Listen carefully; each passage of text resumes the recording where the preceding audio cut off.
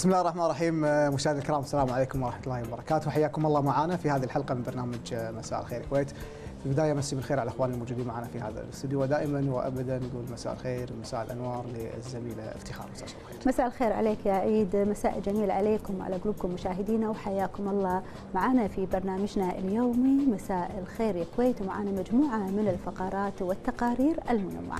أكيد زميلتي افتخار ومثل ما عودنا مشاهدينا طبعا في أهم وأبرز المواضيع والفعاليات المقامة دائما في دولة الكويت.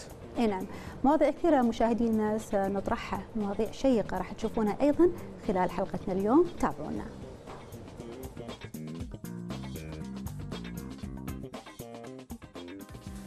تشاهدون اليوم في مساء الخير يا كويت حول الأدب والشعر ودور الجهات الحكومية في دعم المثقفين الكويتيين.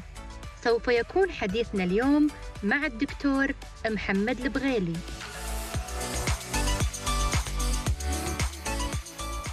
جامعة الكويت وقدرتها على تعزيز احتياجات سوق العمل مع الدكتور نواف ساري والحديث عن أبرز الإنجازات التي حققتها الجامعة.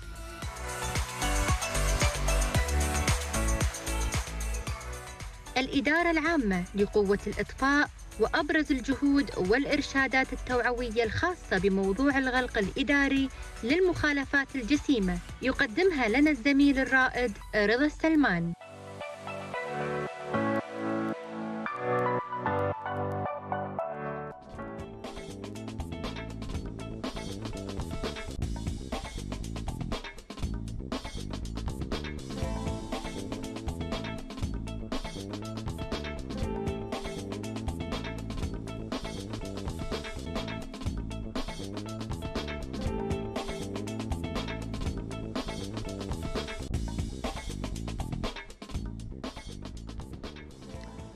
مثل ما تعودنا معاكم خلال هذه الحلقة وطبعا برنامج مساء الخير الكويت راح نكون معاكم في تقارير منوعة وغنية بالفقرات اللي من خلالها راح نسلط الضوء على المواضيع اللي تهمكم.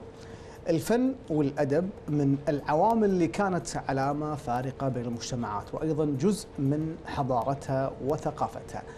لذلك يسعدنا اليوم نلتقي بالأديب والشاعر الدكتور محمد البغيلي والحديث إن شاء الله عن دور الأديب الكويتي في دعم وإبراز الجانب الثقافي والحضاري للمجتمع الكويتي مساك الله بالخير وشكرا على قبول هذه الدعوة دكتور مساك الله بالنور وأنا سعيد أكون وياكم اليوم والشكر لكم في حتى مع طاقم العمل والجميع. ابرك ساعات دكتور يعني نبدأ يعني نتكلم بشكل عام عن المثقفين والأدباء الكويتيين في وقتنا الحالي. هل تعتقد بأنهم لديهم القدرة على عملية تعزيز وإبراز الإرث الثقافي للمجتمع الكويتي من خلال عملهم وما يقومون فيه من ثقافة عامة ووعي خاص بالجمهور؟ نعم إحنا لما نتكلم عن الكتاب وعن مجتمع المثقفين فإحنا نتكلم عن صناع ثقافة في هذا المقام وصناع الثقافة هم اللي يحددون مسارات تاريخية ومسارات ثقافية ومسارات فكرية ويصوغون حقيقة حتى جزء من مستقبلنا الثقافي. المثقفين أو أو صناع الثقافة أو الكتاب أو الفنانين هؤلاء مجتمع يسمون بالمجتمع النخبوي ذلك لأنهم مجتمع مميز وفئة منتقاة مختلفة عن الفئات الأخرى. مجتمع المثقفين مجتمع يعالج الظواهر الاجتماعية بطريقة خطابية بطريقة بلاغية بطريقة تفصيلية تختلف عن الطريقة العلمية. يعني أنت إذا عندك مشكلة اجتماعية عالم الاجتماع يبحثها بطريقة مثلا المسح الميداني. صحيح. الإعلامي يحاول أن يشخصها ويسأل المختصين يكون رسالة أو يكون جسر لتوصيل رسالة معينة عن مثلا هذه الظاهرة من أجل المعالجة. أما المثقف أو الأديب فهو يعالجها بطريقة شاملة عمومية بتفاصيلها ولكن أيضا بنفس الوقت دون أن يغرق بهذه التفاصيل. وبالتالي فإن المثقف والكاتب والفنان والأديب يستخدم فنه ويستخدم علمه ويستخدم خبرته الإبداعية من أجل خدمة المجتمع. وبالتالي فهي فئة مهمة من فئات المجتمع. مو أقول هالكلام لأني أنا واحد من, من اللي يشتغلون في الأدب أو يشتغلون في الثقافة.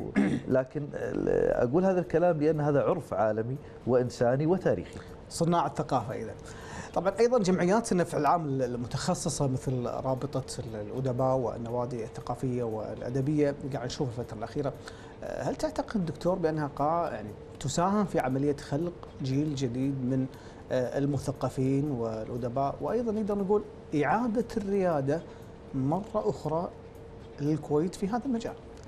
رابطة الأدباء طبعا هي المكان الوحيد المعترف فيه من قبل الدولة في القطاع النقابي الممثل لهذه الفئة فئة الأدباء تحديدا. ما نقول مثقفين عموما نقول الأدباء. اللي هم كتاب القصة والشعراء وكتاب الرواية والسرد والنقد الأدبي وأحيانا المسرح. الكتاب المسرحية إضافة إلى بعض الفنون الأخرى مثل أدب الرحلات وغيرها. رابطة الأدباء آه، مؤسسة مجتمعية عريقة. كانت فيما مضى باسم النادي الأدبي في قبل صحيح. الاستقلال والآن هي رابطة الأدباء هي امتداد لها. وعلى هذا الأساس نحن نعمل ونحاول أن نحافظ على هذا الكيان. وهذا الكلام بصفتي أنا كعضو مجلس إدارة في رابطة الأدباء. آه، أصغر عضو آه، إدارة عضو مجلس إدارة مع إخواني الكبار اللي فرصة أني أتعلم منهم في كل اجتماع في سواء كان كعمل نقابي إداري أو سواء كان في عمل آه، إبداعي. رابطة الأدباء يعني هي أمامها تحديات. أول شيء أول أول هذه التحديات هي يعني نحاول أن نستقطب الجماهير الجديدة والفئات الشابة اللي تعتمد الآن على آه، مواقع التواصل الاجتماعي صح. في الوصول إلى فعالياتنا أو الفعاليات الأخرى من الأدب. آه هذا تحدي كبير من صرنا ننزل مثلا بث لايف صار عندنا آه قل الحضور، من صرنا ننزل فيديوهات مثلا على اليوتيوب حتى على المستوى يعني إن شاء الله يعني نتفائل انه في المستقبل يكون بمستوى أفضل. المواكبه نعم. نواكب الأحدث التطورات. مع كل ما تطورنا في مواقع التواصل أو في البث المباشر كل ما قل عدد الجمهور وهذه مشكلة قاعدين نواجهها وهي مشكلة تواجهها كل المؤسسات صحيح. في العالم نعم. إن مواقع التواصل الاجتماعي هذه بدأت هي تسهل عملية التواصل ولكن بنفس الوقت نعم. هذا الكلام دكتور محمد يقودني إلى سؤال مهم جدا خاصة للجيل الحالي يعني نلاحظ الفترة الأخيرة ظهور مجموعة بما تسمى النوادي الأدبية الشبابية للقراءة وغيرها من هذا الجوانب ولكن تعنى يعني بالثقافة هل تعتبر يعني كثرتها أيضا؟ تعتبر ظاهرة إيجابية آه، أهميتها أيضا في الساحة الأدبية بالكويت؟ نعم ظاهرة إيجابية. مهما حتى كان طريقة تناول الكتب أو طريقة المحاضرات كانت غير آه، يعني آه، متخصصة. ولكن بحد ذاته لما يناقشون الأندية الثقافية في مقهى أو في مكان عام مثلا في مكتبة عامة لما يناقشون كتاب. كتاب أو يناقشون مسألة أو قضية ثقافية هذا بحد ذاته إنجاز حتى لو كان العدد قليل لكن عدد المنتديات ملاحظ إنه زايد بكثرة والمنصات الثقافية زادت صحيح. طبعا توقفت وتعثرت في كورونا, كورونا. ولكن طبيعي كان. إي ولكن بعد الجائحة إن شاء الله آه، ستعود إلى عافيتها ونتمنى أن تكون أكثر في المستقبل لأنها ظاهرة حسب اعتقادي أنها ظاهرة اجتماعية آه، تعالج وتعزز وتنمي آه، الشأن الثقافي والأدبي في الكويت. أيضا. على الخط الآخر الرسمي دور المجلس الوطني للثقافة والفنون والآداب في دعم المثقف. إحنا نتمنى أن المجلس الوطني للثقافة والفنون والآداب يحظى من قبل السلطتين التنفيذية والتشريعية بمزيد من الدعم لأن هذا هو المظلة الحكومية آه، المشرفة حقيقة للكويت والمشرفة للقوة الناعمة التي تمتلكها الكويت من خلال سلسلة عالم المعرفة ومجلة العربي والإصدارات الأخرى لمجلس الوطني للثقافة والفنون والآداب. هذه من مفاخر مؤسساتنا حقيقة في الكويت ونتمنى أن تتقدم أكثر في المستقبل وتحظى بالمزيد من الدعم حتى من قبل الجماهير. نتمنى من الجماهير أن تشارك في أنشطتها. تقدم آه، أستاذ عيد تقدم المجلس أو مختلف إدارات المجلس الوطني وخاصة الإدارات المعروفة مثل إدارة المسرح وغيرها تقدم آه، كثير من الأنشطة والجهود الجبارة على مستوى الدولة في كل المرافق الموجودة لها. لكن تحتاج إلى دعم جماهيري وأنشطتهم جميلة وجيدة وحقيقة يعني تتميز عن باقي الأنشطة الأخرى. نعم. أيضا دكتور محمد وأنت الضليع في هذا الجانب دائما الدول المتقدمة تهتم بالأدب والثقافة والفن بشكل عام. لماذا هذا يكون هذا الاهتمام بهذه الصنوف من المعرفة والعلم والأدب؟ تهتم اولا في لغتها الشعوب، اللغة هي هي جسر التواصل مع كل الشعوب الأخرى والثقافات الأخرى، وهي الأساس في آه، بناء الإنسان الحقيقي والمثقف الحقيقي. وبناء الأوطان وت- وصيانة التاريخ وتقديم خطابات مثلا سياسية للأنظمة وتحقيق كثير من التقدم مرهون بالمحافظة على لغتنا وثقافتنا. الدول تهتم لأن عنصر من عناصر أو ذراع من أذرع أي نظام في العالم المحافظة على الثقافة وبالتالي فكل دول آه، العالم وكل الأنظمة المتقدمة تحرص على تعزيز هذا الكيان أو أي كيان يخدم آه، الشأن الثقافي سواء كان كيان آه، حكومي أو أهلي آه، لأن العالم يتقدم بسرعة وهذا التقدم نعم. آه، وهذا التقدم سمته أو أو الصبغة اللي تصبغ فيه آه، أو القالب اللي يضع فيه بالثقافة نعم.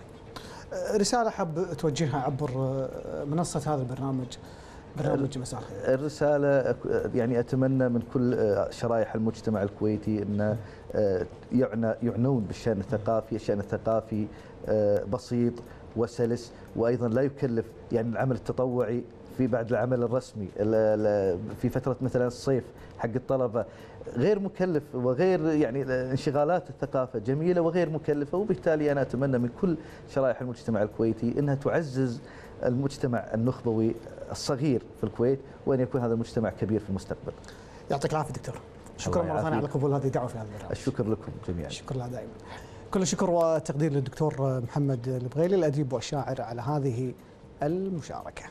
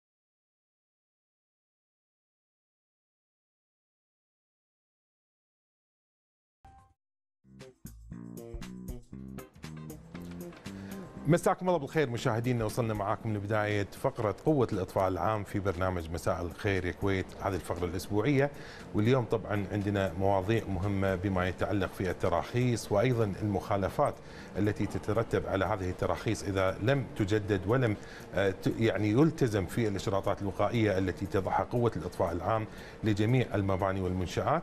حول هذا الموضوع طبعا يسعدنا أن نرحب في العقيد محمد بدر الغريب مدير إدارة العلاقات العامة والإعلام بقوة الإطفاء العام. حياك الله معنا ومساك الله بالخير. الله يحييك رائد رضا. مسي عليك ونمسي على جميع المشاهدين. يطول عمرك. آه العقيد محمد يعني خلينا نتكلم في البداية عن التراخيص لأن إحنا قاعدين نشوف بالفترة الأخيرة في هناك آه عدد كبير من المخالفات في هناك عدم التقيد في الإشراطات الوقائية. أيضا خلينا نتكلم اليوم يعني آه، أساس هذه المخالفات قد يكون عدم الالتزام في آه، تجديد التراخيص والالتزام في الاشتراطات الوقائية التي تضعها قوة الإطفاء العام في جميع المنشآت والمباني. نعم في البداية نبي نتكلم عن قطاع الوقاية في قوة الأطفال العام هذا القطاع المختص في إصدار التراخيص وأيضا في المخالفات وأيضا اعتماد الشركات وأيضا اعتماد شركات المصاعد واعتماد شركات معدات الحريق وطبعا في آه، البداية أحب أشرح لك آه، طريقة استخراج التراخيص. نعم. طبعا يتم في البداية تقديم مخططات للدراسة واعتماد المخططات آه، المعمارية ومخططات الإنذار والميكانيك التصميمية. وبعد ما يتم اعتمادها طبعا تصدر رخصة أطفاء مشاريع لهذه المخططات. والمرحلة اللي بعدها يكون متابعة هذه المخططات. وتركيب آه، أنظمة آه، الوقاية والاشتراطات السلامة والوقاية من الحريق في هذه المباني لإصدار كتاب إيصال التيار الكهربائي لهذه المباني. ومن ثم يتم فحص وتشغيل هذه المعدات في المباني التي آه، تم تركيب هذه المعدات فيها لإصدار رخصة استغلال المبنى وهي رخصة إطفاء للمباني ممتاز. التي يتم من خلالها إصدار تراخيص المحلات طبعا ممتاز نعم. خلينا نتكلم العقيد محمد اليوم عن آه، بعض المحلات اللي يعني تستأجر في المجمعات التجارية أحيانا إحنا هذه أسئلة كثيرة يعني قاعدة توصلنا من خلال السوشيال ميديا عدم قوة الإطفاء العام ترفض تجديد أو أو إصدار ترخيص لهذه المحلات الموجودة في بعض المجمعات التجارية. نعم آه، قوة الإطفاء العام آه، يعني هي ما تمنع أو ما تمنع إصدار التراخيص هذه. نعم. إحنا في قوة الإطفاء العام طبعا الإخوان في قطاع الوقاية ليش يرفضون إصدار التراخيص للمحلات؟ طبعا ما في محل ما في مجمع في الكويت مو مرخص. لكن آه، ما يتم ترخيص هذه المحلات لأسباب كثيرة منها عدم تجديد رخصة المجمع. أو تكون رخصة المجمع منتهية أو صاحب المجمع مالك هذا المجمع يكون مخالف لاشتراطات وأنظمة السلامه والوقايه من الحريق فبال في بال يعني بالسبب هذا يكون ما نقدر إحنا نعطي رخصة المحل، ليش آه، رائد رضا؟ لأن المحل هذا في داخل مجمع. نعم. واشتراطات الوقايه وأنظمة الوقايه من الحريق الموجوده في المجمع تشمل هذا المحل. صحيح. فأنا كقوة أطفاء العام طبعا متمثلين في في قطاع الوقايه الإخوان ما يقدر يعطي المحل هذا رخصة لأن المجمع بالأساس مخالف. صح. صاحب هذا المجمع مخالف. مخالف. فأنا شلون أعطي رخصة لهذا المحل وهذا المجمع مخالف؟ نعم. طبعا في مخالفات كثيرة مثل آه، يمكن يكون آه، بعد ما أخذ الترخيص وانتهى ترخيصه ما جدد ترخيصه وتم مخالفته يمكن عمل تقطيعات معمارية، صحيح. التقطيعات هذه أثرت على أنظمة آه، السلامه والوقايه من الحريق صحيح. أو عمل تخزين التخزين على مخارج الطوارئ. صحيح. فهذه الأمور تضع المجمع في موقف لا قدر الله صار حريق. نعم. آه، معدات الأطفاء لا تعمل لسبب أن القواطع اللي تم وضعها مستحدثه تأثر على هذه المعدات، أيضا يضعون التخزين في مخارج الطوارئ. نعم. لا قدر الله صار حريق في هذا المجمع، معدات الحريق لا تعمل. صح. مخارج الطوارئ مغلقة. مغلقة صح. فهني إحنا دورنا كقوة الأطفاء العام متمثل في حماية الأرواح والممتلكات وأيضا المحافظة على الأمن المجتمعي، ما نقدر نرخص هذه المحلات ولسبب مخالفة أصحاب هذه آه، المجمعات. وأحب أضيف يعني آه، صاحب المجمع أو مالك العقار أو المستأجر يعني يكون هو خط الدفاع الأول. صح. لمحافظة على الأرواح والممتلكات. صحيح. ويكون يزودنا إحنا يعني يكون في اتصال معنا إحنا كقوة الاطفاء العام يا ريت تعرضوا الرقم اللي للاستفسارات والشكاوي اللي إحنا نتواصل فيه وأيضا مواقع التواصل الاجتماعي الخاصة في قوة الاطفاء العام. نعم. متوفرة. وإحنا نرد من خلالها على استفسارات جميع الملاك والمستأجرين والمواطنين والمقيمين. صح. فلهذه الأسباب إحنا ما نعطي رخصة إطفاء للمحل والمجمع يكون مخالف. لابد المجمع يكون طبعا في رخصة إطفاء. طيب هل آه، قوة الإطفاء العام تتخذ إجراء قانوني مع أصحاب المجمع في حال يعني عدم وجود رخصة إطفاء أو عدم تجديد هذه الرخصة؟ صحيح نعم. قوة الإطفاء العام تأخذ إجراء قانوني وطبعا جميع أصحاب هذه المجمعات ملاكها المخالفين لاشتراطات وأنظمة الأمن عفوا آه، أنظمة أنظمة الوقاية والسلامة من الحريق يحالون إلى القضاء لإجراءات لأخذ آه، لاتخاذ الإجراءات القانونية ضدهم وأيضا إحنا قوة الاطفاء العام ما ندخل كطرف بين المالك والمستأجر، إحنا هدفنا صح. الرئيسي في قوة الاطفاء العام هو حماية الأرواح والممتلكات وحماية الأرواح والممتلكات تتمثل في أنها تكون أنظمة السلامة والوقايه من الحريق تعمل بصورة سليمة. نعم. آه، طيب العقيد محمد عندنا إحنا الحين على موضوع آه، الغلق الإداري. إحنا شفنا بالفترة الأخيرة إن قوة الإطفاء العام أغلقت عدد من المنشآت في دولة الكويت. غلق إداري هل هذيل المنشآت ما استجابوا إلى طبعا الاشراطات الوقائية أو آه، يعني فرق التفتيش؟ أكيد لها طبعا إجراءات تقوم فيها قبل أن تتخذ آخر قرار اللي هو قرار الغلق الإداري. صحيح. طبعا إحنا في قوة الإطفاء العام من بداية السنة إلى تاريخ اليوم تم مخالفة 680 منشأة نعم. مخالفة لاشتراطات وأنظمة السلامة والوقاية من الحريق وتم غلق 108 آه، مبنى ومنشأة مخالفة لهذه الاشتراطات. نعم. طبعا أنا آه، إحنا عندنا في آه، قوة الاطفاء العام. في الإخوان في قطاع الوقاية في فرق تفتيش عملها هو أخذ جولات يومية ل- في جميع محافظات الكويت لرصد المخالفات في المباني والمحلات. طبعا في حال رصد أي مخالفة في المبنى أو المحل يختار صاحب العلاقة أو المالك في مراجعة آه، قوة الأطفاء العام لمتابعة وإزالة هذه المخالفة. وفي حال عدم التعاون يتم إنذار هذه المنشأة بالغلق وبعدها تغلق غلق إداري نهائي. طبعا. غلق إداري نهائي طبعا. نعم. هني طيب في حال آه، المنشأة هذه تم تطبيق عليها الغلق الإداري. هل هناك أيضا إجراءات لازم يقوم فيها صاحب هذه المنشأة لإعادة طبعا آه، يعني صحيح فتح صحيح. طبعا صاحب المنشأة يقوم بمراجعة قوة الاطفاء العام للتوقيع على تعهد لإزالة هذه المخالفات ويتم إعطائها مهلة لإزالة هذه المخالفة. وإن لم يتم إزالة هذه المخ- المخالفة يتم غلق المنشأة مرة أخرى بناء على القرار السابق اللي صدر ممتاز. وأنا أحب أنوه يعني على أصحاب آه، السراديب وأيضا الأسواق الشعبية ومباني التخزين. نعم. في المحافظة والالتزام في اشتراطات وأنظمة السلامة والوقاية من الحريق للمحافظة على أرواح وممتلكات في الآونة الأخيرة لوحظ كثير من الإخوان يخالفون هذه الاشتراطات في غلق وتسكير مخارج الطوارئ في هذه السراديب وأيضا وضع معوقات لأنظمة السلامة والوقاية من الحريق مما يشكل خطورة عالية على مرتادين هذه الأماكن صحيح يعني اليوم الخطورة آه، قد تطول يعني عشرات الأشخاص المتعدين لهذه المباني أو المجمعات،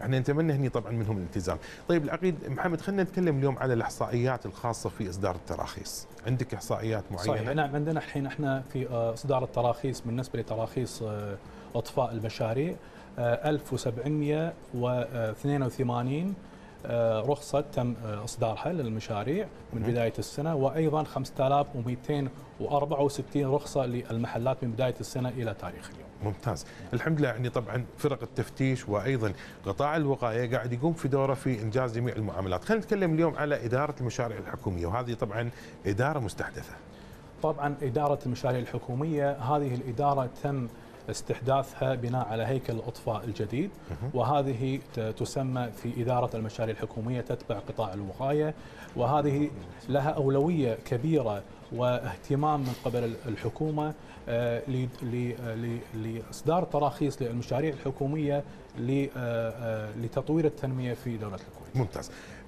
عندنا طبعا إحنا مشاهدينا نحب ننوه ان في هناك آه خدمة آه يعني خدمة على الواتساب والرقم إن شاء الله الآن راح يظهر على الشاشة. هذه الخدمة أو هذا الرقم طبعا يعني متاح للجميع لجميع إخواننا المواطنين المقيمين بإمكانهم التواصل على خدمة الواتساب لتقديم أي شكوى أي مخالفات مثلا يشوفونها أو يرصدونها بامكانهم بامكانهم يتواصلون معنا طبعا مع فرق التفتيش آه لكي طبعا تقوم بعملها لإزالة هذه المخالفة أو آه التعامل مع الشكوى من خلال جميع الإدارات والقطاعات المعنية في قوة الاطفاء العام. هذا الرقم اللي هو 659 أكرر الرقم مرة ثانية 659 عودة لك العقيد محمد آه، الغريب مدير إدارة العلاقات العامة والإعلام بقوة الإطفاء العام. آه، كثير من المواطنين الحين قاعدين يبنون في عندنا مدن جديدة مثل مدن آه، مدينة مطلع وغيرها من المدن الأخرى اللي قاعدة يعني الآن فيها أعمال بناء قائمة.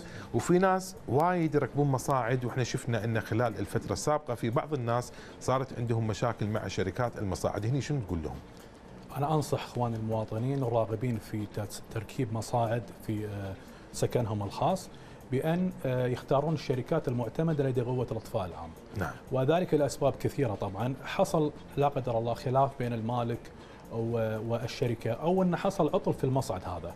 أنا كقوة الإطفاء العام آه، في دوري أقوم بمخالفة ومحاسبة هذه الشركة المخالفة للمالك. فأنا أحب أنوه على نقطة ثانية آه، رائد رضا أن أي آه، مالك يرغب في تركيب المصاعد يذكر في العقد بينه وبين الشركة في بند شرط يحطه أنه يجب أن تكون آه، الشركة معتمدة لدي أطفال. العام حلو. وهذا يفيده ويفيدنا إحنا كقوة أطفال. صحيح. إذا عندك طبعا رسالة أخيرة حاب توجهها لإخوانك طبعا ملاك المباني. أنا أحب أوجه رسالة لإخواني آه، أصحاب المباني والملاك. بأنهم يكونون هم خط الدفاع الأول لنا ومساعدتنا نعم. في رصد هذه المخالفات و آه، لسبب المحافظة على الأرواح والممتلكات وأيضا الالتزام باشتراطات وأنظمة السلامة والوقاية من الحريق. ونكرر مرة ثانية إذا حابين تواصلون معنا طبعا على خدمة الواتساب هذا الرقم موجود على الشاشة آه، اللي عرضناه قبل شوية كرره مرة ثانية 659144 ثلاثة واحد آه، ستة خمسة تسعة واحد أربعة أربعة ثلاثة واحد. هذه خدمة الواتساب الخاصة في قوة الإطفاء العام بإمكان أي مواطن أو أي مقيم إذا شاف ملاحظة أو مخالفة مثلا آه، يتواصل معنا على هذه الخدمة وإن شاء الله راح يتم تحويلها فورا إلى الجهة المختصة. كل الشكر لك العقيد محمد بدر الغريب مدير إدارة العلاقات العامة والإعلام بقوة الإطفاء العام. حياكم الله. طول عمرك. أيضا مشاهدينا نشكركم على متابعتكم لهذه الفقرة الأسبوعية ونلتقي معكم إن شاء الله في الأسبوع القادم بموضوع آخر جديد والآن فاصل ومن ثم عودة إلى زملائي افتخار وأيضا عيد لاستكمال باقي فقرات برنامج مساء الخير يا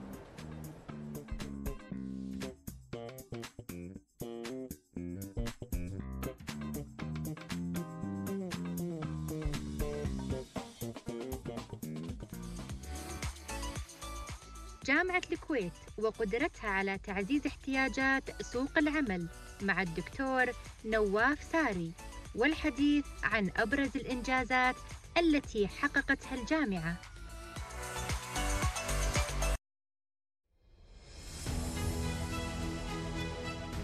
جامعة الكويت هي أول مؤسسة تعليمية جامعية في دولة الكويت وكانت تضم الجامعة عندما تم تأسيسها كليتين فقط. هما كلية العلوم والآداب والتربية وكلية البنات الجامعية. ومنذ اللحظة الأولى لتأسيس الجامعة كان الهدف من ورائها تقديم الخدمات التعليمية المميزة للطلاب والعمل على إنتاج ونشر المعرفة الإنسانية وتطويرها والعمل على تأهيل الشباب الكويتي وتسليحه بالعلم والعمل ليكون شبابا منتجا ومفيدا لنفسه ووطنه ومجتمعه. كما أن الهدف من الجامعة كان العمل على تطوير المجال التعليمي في الدولة وزيادة مهارات الشباب الكويتي من أجل تنمية الموارد البشرية التي تمتلكها الدولة من أجل مواكبة عجلة التنمية والنهضة بالدولة إلى الأمام. وتعمل الجامعة بالتعاون مع الجهات والمؤسسات التعليمية الأخرى في الكويت على إدخال أفضل المناهج الدراسية وإدخال أحدث التقنيات التعليمية. إذا مشاهدينا جامعة الكويت تعتبر من أحد وأبرز صروح دولة الكويت واللي كانت على مدى عشرات السنوات مصنع للكوادر الوطنية التي تغذي سوق العمل. حول جامعة الكويت وكثير من التساؤلات ومجموعة أيضا من المحاور الخاصة في هذا الشأن. اليوم راح نطرحها على ضيفنا اللي معنا بالاستديو الدكتور نواف ساري الأستاذ المشارك في قسم أصول التربية بجامعة الكويت. يا مساء الخير وحياك الله معنا. مساء النوير حياك الله. يا هلا دكتور. فيك. حياك الله. دكتور إحنا مقبلين على نهاية عام دراسي وأيضا هذه المرحلة هي الفيصل. للكثير من الطلاب خصوصا مرحلة الثانوية عامة. فحابين نتكلم شوي عن جامعة الكويت واللي يميزها. اولا جامعة الكويت هي غنية عن التعريف. صرح أكاديمي كبير عمره أكثر من 54 سنة. فيها أكثر من 16 كلية آه، يقدمون تخصصات متنوعة. أنا. ولا شك أنها هي الجامعة الأبرز في ال- ال- الكويت وهي تعتبر الجامعة الحكومية الوحيدة وحتى على مستوى الوطن العربي تعتبر يعني مرجعية لكثير من الباحثين والطلاب. صحيح.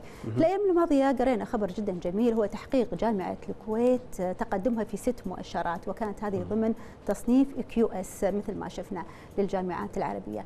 حابين التعرف أكثر عن هذه المؤشرات؟ آه، حقيقة إحنا آه، كذلك سعداء بالارتفاع الملحوظ في مؤشرات التصنيف العالمي QS. نعم.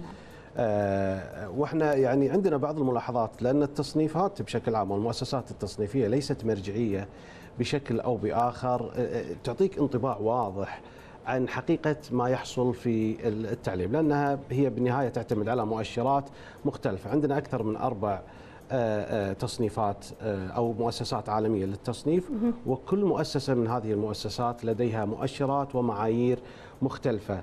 فقد تكون جامعة الكويت مرتفعة في تصنيف معين وتكون في التصنيف الآخر آه، آه، غير موجودة ال- على كل أنا ودي أقول وأطمن خصوصا إن حصلت زوبعة بالفترة اللي طافت عن صحيح. جامعة الكويت.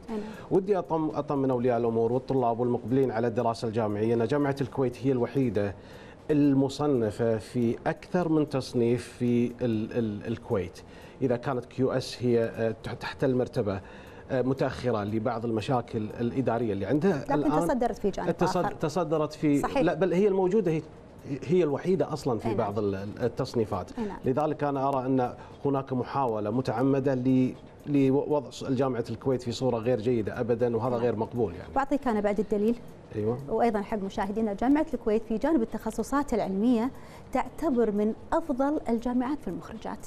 آه، ليش تم- تميزت الجامعة في الجانب العلمي عن باقي الجامعات دكتور؟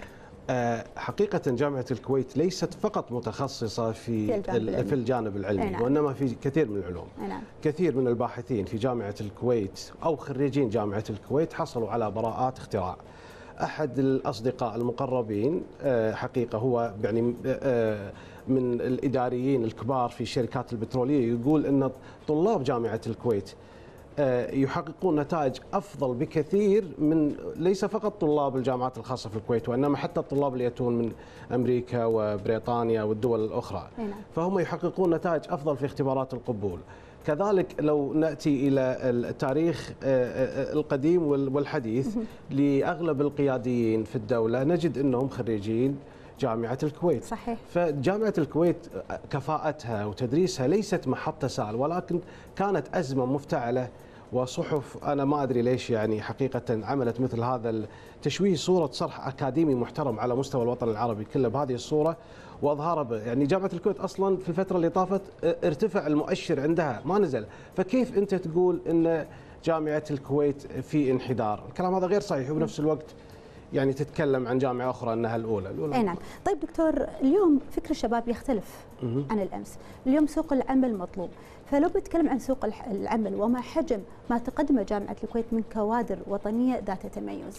آه، جامعة الكويت تعتبر المزود الرئيسي والأول لسوق العمل في آه، في السوق الكويتي. الأيدي العاملة أغلبها من جامعة الكويت. كونها أصلا عدد الطلاب في جامعة الكويت 39 ألف طالب و300 تقريبا. أعضاء هيئة تدريس في جامعة الكويت يتجاوز ال 2000 عضو هيئة تدريس عندنا برنامج الماجستير والدراسات العليا. عندنا أكثر من آه، 2000 طالب في برنامج الماجستير والدراسات العليا. فإحنا نتكلم على حجم كبير مقارنة بحجم السكان الصغير. حجم كبير من الطلاب كل سنة.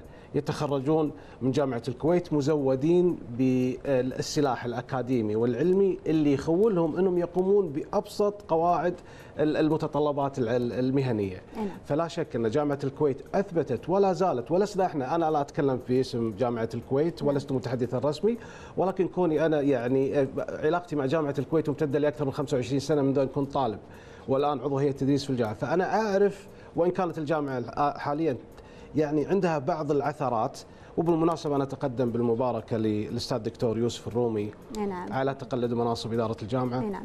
وأقول التركه يعني ثقيلة وتحتاج كثير من العمل وتحتاج كثير من الجهد فنتمنى أنك تختار الأكفاء المتخصصون أي نعم. في أو المتخصصين في الجانب العلمي وال- إن والاداري شاء الله يتم استثمار الله. الجهود الأكاديميين اللي في الجامعة. طيب.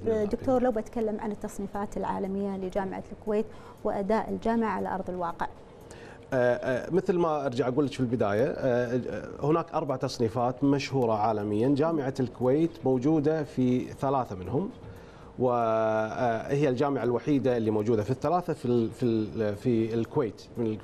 آه، آه، كل تصنيف من هذه التصنيفات يحاول أن يعالج بعض ال أو يقيم بعض المؤشرات. نعم. وليس بالضرورة هو محك لتقييم ال- ال- ال- العلمي لما تقدمه هذه الجامعة من علوم. أو آه، آداب. هو مجرد آه، مؤشر يحاول أن يساعد ال- العمل آه، أو أو الإدارات الجامعية والمؤسسات التعليمية أو حتى الدول إذا كانت الجامعات حكومية. آه، تحسين أداء ال- ال- الجامعات، أنتم عارفين إحنا جامعة الكويت هي المؤسسة الحكومية الوحيدة بي- بيروقراطية كبيرة في يعني في اتخاذ القرار فيها كونها تعتبر يعني بالنهاية ترجع في قراراتها تدخلات سياسية أو نوعا من هذا شيء من هذا القبيل. فبالنهايه إحنا نحاول قدر المستطاع إن يعني نقدم آه، شيء آه، للطالب بحيث إنه ينعكس بشكل إيجابي على التصنيفات آه، تصنيفات هذا الجامعة هذا يبني العالمية. حق سؤال دكتور. آه، التصنيف QS مثل ما قلت قد نقول في قصور في ناحية ولكن ست مؤشرات. مردودة على دولة الكويت هذه الست مؤشرات اللي تقدمت فيها دولة الكويت. آه، هو ال- ال- التصنيف مجرد قراءة لأداء الجامعة ليس تقييما فعليا قراءة. نعم. ال QS جامعة الكويت حققت في مرتبة من 1000 إلى 1200 بينما نفسها جامعة الكويت حققت في مؤشر في مؤشر Times أو في تصنيف Times المرتبة من 800 إلى 1000 ولا جامعة في الكويت محققة هذه المرتبة لأن المعايير المستخدمة في ال Times مختلفة عنها في ال QS.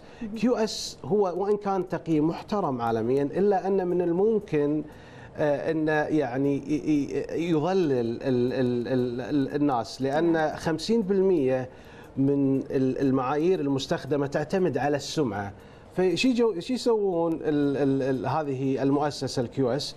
يرسلون استبانات ويعملون استبانات مسحيه للعاملين في هذه المؤسسات نعم. ويبدون يقيمون الجامعة نفسها وإذا كان لديك data جيدة حول الإيميلات الناس اللي تشتغل معاك وأنت تعمل ال- ال response أو الإجابة من الممكن إنك ترفع ال- ال score مالك بكل سهولة من الممكن يعني حتى إن ال QS من ال- الأشياء المعيبة فيه إن ما في مؤسسة أخرى مستقلة تقيم المعلومات التي لديه كما أنه لا يعمل double check على المعلومات التي تقدمها له ال- الجامعات أو المؤسسات فهو يأخذ ال- المعلومات كما هي ويعرضها دون أي نوع من أنواع التدقيق أو التأكد من صحتها نعم. وهذه إشكالية كبيرة بينما مؤشر Times لا في عنده جا في عنده مؤسسة مستقلة اللي حققت في جامعة الكويت مرتبة متقدمة في عنده مؤسسة مستقلة تقيس إذا كان ال ال ال ال ال المعلومات هذه صحيحة أو غير صحيحة أو دقيقة أو غير دقيقة.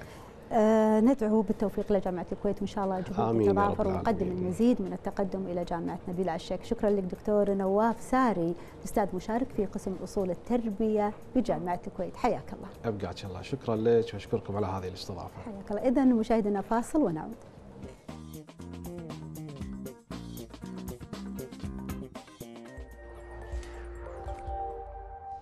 لله الحمد بلغ عدد المعاملات الإسكانية المقدمة عبر تطبيق سهل الحكومي منذ بداية العام وحتى شهر يونيو الجاري. 60 ألف معاملة آه، وصلت للمؤسسة العاملة السكنية. وبإذن الله تقوم المؤسسة حاليا بإضافة جميع الخدمات وميكنتها عبر تطبيق سهل تسهيلا على المواطنين وتنفيذا لتوجيهات مجلس وزراء الموقر.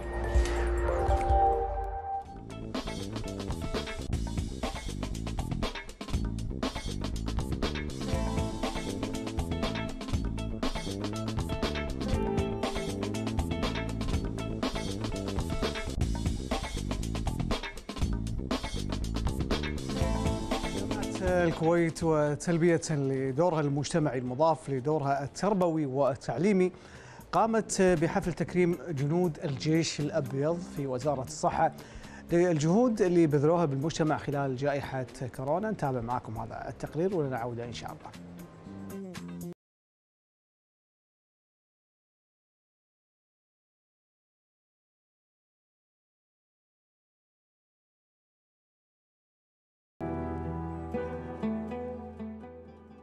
لمسنا جميعا هذا الدعم خلال العامين الماضيين خلال جائحة كورونا حيث كان من أبرز التحديات التي واجهتنا خلال تلك الفترة هو عودة الدراسة الآمنة إلى جامعة الكويت للحفاظ على مستقبل أبنائنا الطلاب والاستمرار في تحصيلهم العلمي. مع توفير جميع الضمانات الممكنة والمتاحة حينها للحفاظ على سلامتهم وصحتهم وفقا للتطور الوضع الوبائي لجائحة آه، كوفيد 19 سواء كانت على الصعيد المحلي أو العالمي.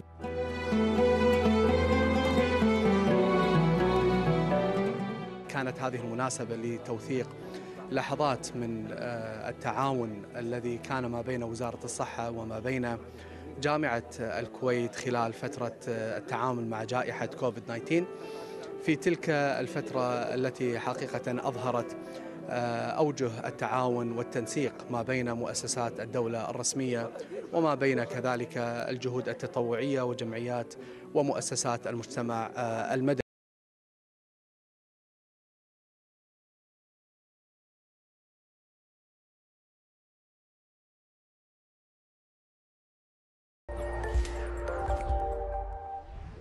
من ضمن الخدمات اللي أطلقتها المؤسسة العامة للرعاية السكنية هي خدمة إصدار شهادة لمن يهم الأمر عبر تطبيق سهل حكومي. وهذه الشهادة هي شهادة عامة دون توجيه بإمكان المواطن تقديمها لبنك الائتمان الكويتي ولبلدية الكويت.